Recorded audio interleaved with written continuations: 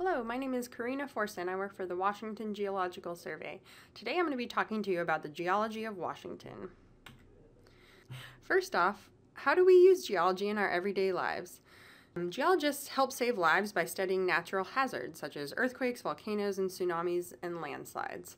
Geologists also study mining, uh, this includes gravel for roads, extracting metals for things like your iPhone and batteries for your computers, stuff that we need to live comfortably in the world we've grown accustomed to. Jewelry, you get your bling thanks to a geologist. Geologists were able to find those minerals and put them into fun things like crowns and rings and cool necklaces. Energy. We all rely on electricity. It's pretty neat. There's different sources of energy geothermal, oil and gas, coal. We're able to gas up our cars thanks to a geologist and have cool neon signs such as this burritos as big as your head because a geologist was able to find the energy reserve to power those lights. Food. We all eat it and it has to grow in dirt. And dirt comes from, you guessed it, rocks. Except for flaming hot Cheetos. I'm not really sure where those come from. And last but not least, geology lets us study cool science. People get to study volcanoes on other planets and go into lava lakes thanks to geology. Today I'm going to be talking to you a little bit about the geology of Washington. This is a geologic map of Washington state. All the different colors represent different rock types. The geology of Washington is pretty complicated. And learning about how it formed and when the rocks were deposited or emplaced is like a puzzle that geologists have to figure out. First, we need to know about what type of rock it is and how old it is. Many of our most beautiful vistas exist because of neat geologic processes, and it's up to us to put the pieces together and understand how the puzzle fits. There are three main types of rocks igneous, metamorphic, and sedimentary. Igneous rocks are made from volcanic processes. This is like volcanoes and intrusions like the one that made Half Dome at Yosemite National Park. This is where rocks like obsidian, which makes arrowheads, and pumice come from. Metamorphic rocks are rocks that have been changed by pressure and heat. They're usually folded and compressed, and some of them have really fun names like schist and gneiss. Sedimentary rocks are made from erosion and deposition. This is rocks like sandstone or siltstone or mudstone, not such creative names as the metamorphic rocks. And this is often where we find preserved fossils that were buried under different depositional layers. The rock cycle is how geologists figured out how rocks change from one type of rock to the other.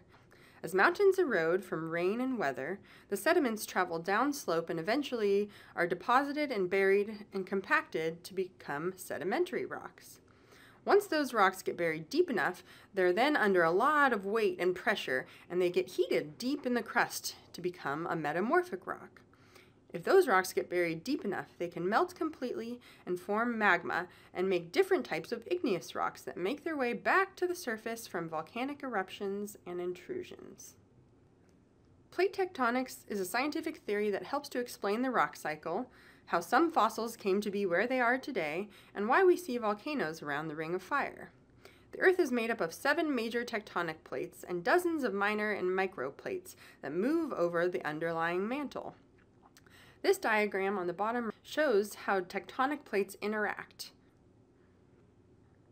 When tectonic plates converge, the colder, denser oceanic plate gets pushed under the thicker, hotter continental plate in a subduction zone. Off the coast of Washington is one of the largest subduction zones in the world, the Cascadia Subduction Zone. It has ruptured in the past and created massive earthquakes and devastating tsunamis, and it is capable of doing so again.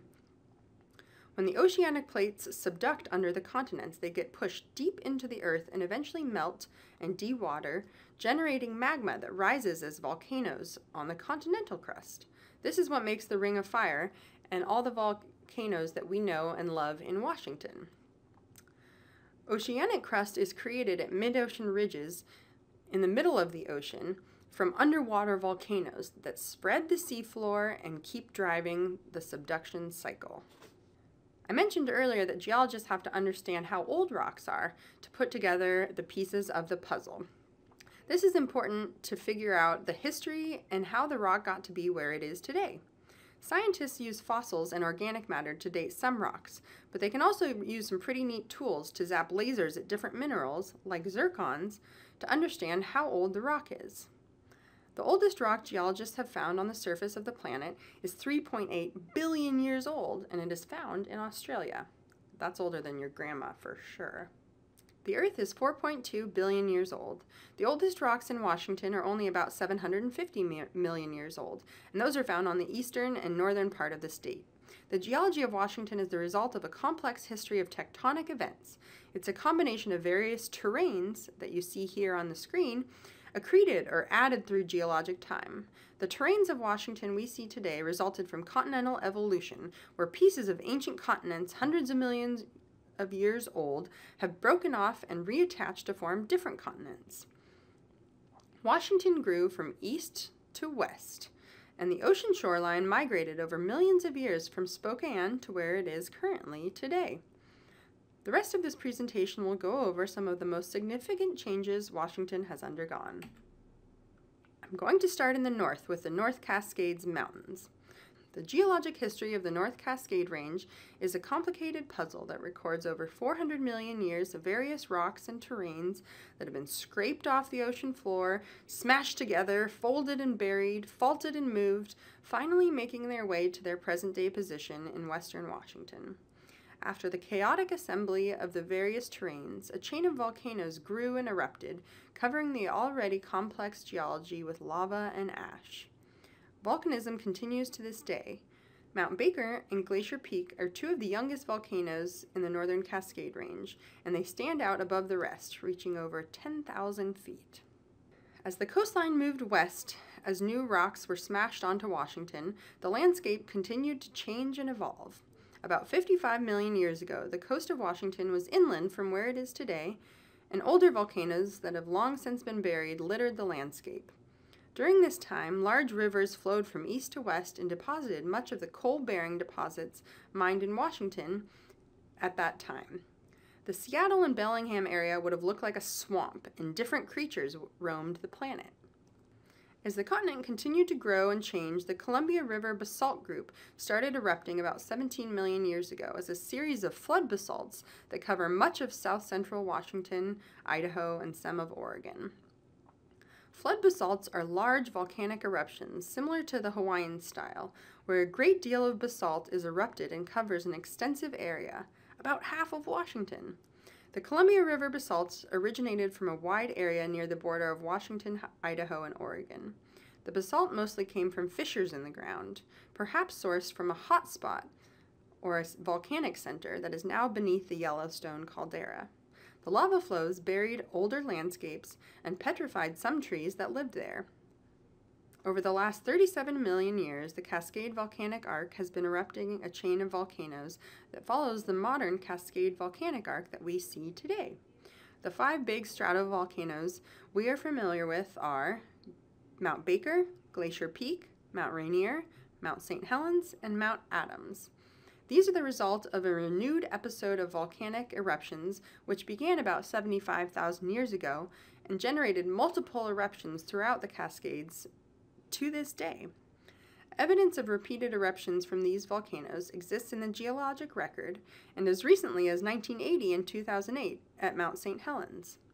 From Mount Baker to Mount St. Helens, each volcano has a dynamic history and is still active today and could erupt again tomorrow.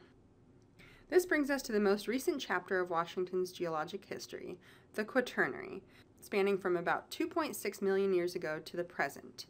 During this time, the northern hemisphere was plunged into a series of ice ages, and all the while volcanoes continued to erupt. Both processes deposited new soil that many of us live on. During this time, at least four major ice advances covered much of Washington, thousands of feet thick. Before glacial times, the climate was much like that of today, and evergreens and Douglas firs, spruce, and lodgepole, lodgepole pines scattered the land. Once the ice arrived, the advancing glacier drastically changed the environment. Sediment shed from the meltwater streams in front of the glacier buried and destroyed the forests. Geologists occasionally find wood and plant material within the sand and gravel deposits. Of the glacier continues to advance further, low-lying areas were inundated with meltwater and fine-grained silts and clays, trapping organic material ripped up by the glacier. Glacial lakes were created as the glacier advanced and retreated. At glacial maximum, glacial lake deposits may be very thick, as the glacial lakes would have persisted in the landscape for tens to as many as thousands of years, constantly accumulating silt and clay from front or sides of the glacier. As the climate warmed, the ice began to waste away rapidly, leaving behind a complex, dynamic environment and occasionally leaving behind large blocks of ice. Sediment transported in meltwater streams from the glacier often buried these blocks of ice in place, and the ice would take its sweet time melting, up to thousands of years, beneath this insulating layer of sand and gravel. Once the ice blocks melted, they left behind depressions called kettles. As the climate warmed, trees and plants returned, and some of these depressions often turned into waterlogged peat bogs. As geologists find more organic material within deposits that were adjacent to glacial ice, they can map out where the ice lobe was, and more importantly, when it was there. Many of these types of samples have been dated using radiocarbon analyses. From these data, they have reconstructed the path and sequence of the ice arrival and retreat. From about 19,000 to 16,000 years ago, the glacial ice sheet was at its maximum. This means it reached as far south as Tenino and was about 3,000 feet thick near Seattle, enough ice to cover the Space Needle five times. During this period, such creatures as mammoths, saber-toothed cats, and ground sloths lived and died with changes in the climate. Scientists know about the climate of the past by studying ice cores and mapping glacial deposits. Glaciers leave marks on the landscape. Many of the small lakes people swim in were formed by glaciers. The rivers today follow paths of glacial outwash channels formed thousands of years ago, and the hills and depressions in the landscapes are likely formed by ice age glaciers eroding and depositing massive amounts of rocks and soil. During the last ice age, one lobe of the ice sheet formed an ice dam and blocked a major river, the Clark Fork in Montana.